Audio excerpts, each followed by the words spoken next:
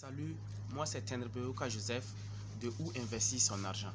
Et au travers de cette chaîne, j'accompagne la jeunesse en lui prodiguant des conseils sur comment gagner de l'argent, comment protéger son argent et comment faire fluctuer son argent à travers plusieurs business que l'on peut implémenter.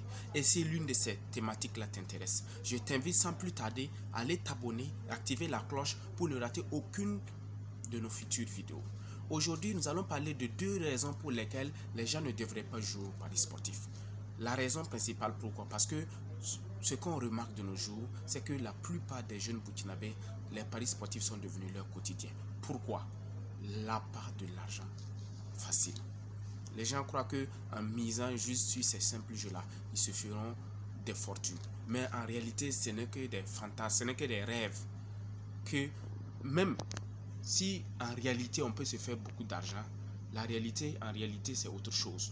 Autre chose, pourquoi? Parce que ce qu'on remarque, c'est que la plupart prennent même des salaires, d'autres prennent tout leur argent qu'ils ont épargné pendant des mois pour miser dans ces jeux-là.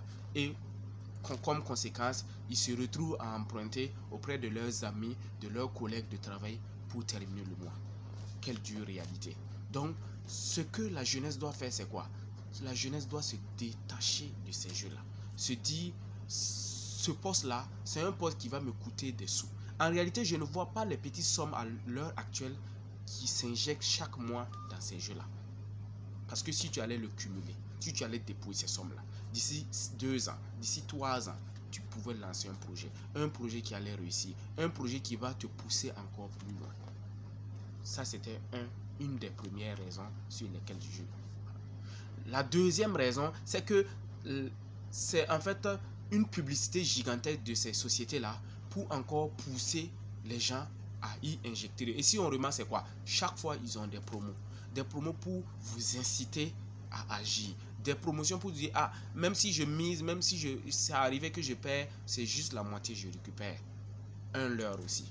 Ne tombez pas dans leur piège. Et comme conséquence, pour ceux qui s'entêtent toujours, pour ceux qui continuent à miser tous leurs épargnes dans ces jeux-là.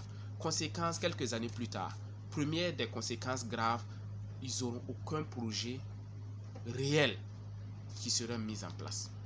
Donc ils seront frustrés en regardant leurs amis qui ont passé leur temps à épargner et ensuite lancer des business qui fonctionnent pendant que eux, ils n'ont rien du tout.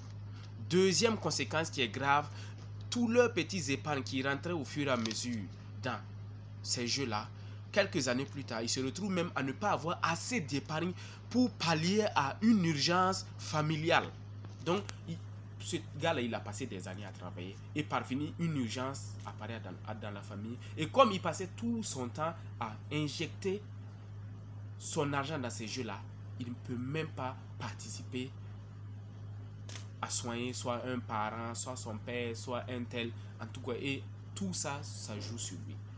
Est-ce que vous voyez? Donc, les paris sportifs, c'est trop dangereux pour nous. Surtout pour nous, la jeunesse, qui n'avons pas encore les reins solides, qui n'avons pas encore établi les bases pour pouvoir avancer.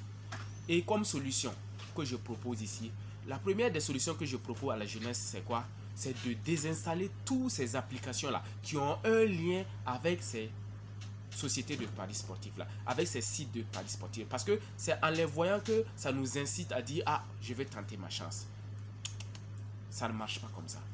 Puisque c'est dès que tu vas faire le premier pas, tu vas vouloir insister. Et c'est dans ça que toutes tes petites économies que tu préparais pour lancer tes projets vont rester là-dedans. Et là, c'est pas toi-même qui es en train de t'enrichir. Au contraire, tu es en train d'enrichir ces sociétés-là. Les propriétaires de ces sociétés-là, c'est eux que tu es en train d'enrichir.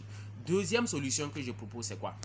C'est la plupart du temps, la jeunesse se retrouve dans ces jeux-là. Pourquoi? Parce que il y a l'amitié qui est là tu as un ou deux ou trois amis qui sont fréquemment là, qui jouent à ces jeux-là, qui sont là, qui disent j'ai eu telle somme d'argent, j'ai eu 150 000 francs, j'ai eu 200 000 francs, j'ai eu 300 000 francs. Donc en l'écoutant parler, toi aussi tu vas vouloir agir comme lui et puis tu vas tomber dans son piège. Parce que toi, tu n'as pas la même chance que lui. Pourquoi? Peut-être toi tu avais juste épargné un peu juste d'argent pour pouvoir lancer ton projet. Et il te restait juste un peu. Et tu te retrouves maintenant à miser tout ton argent dans ces jeux-là. Et comme solution, c'est quoi? C'est de diminuer la fréquence de fréquentation avec ces amis-là. tu diminues au maximum. Tu diminues la fréquence au maximum. Là, tu seras plus collé à lui, tu vas plus retomber dans ces pièges-là. Donc, troisième solution que j'ai à proposer, c'est de se discipliner soi-même. C'est de prendre ses responsabilités soi-même. C'est de se dire soi-même, il faut prioriser les choses. Il faut prioriser, dire que maintenant, je peux attendre. Tout c'est ma chance, non, j'attends et puis je développe d'abord mes projets. Donc, en tout cas, je vous attends dans les commentaires. Partagez vos opinions, on va discuter. Et n'oubliez pas surtout de vous abonner. À plus.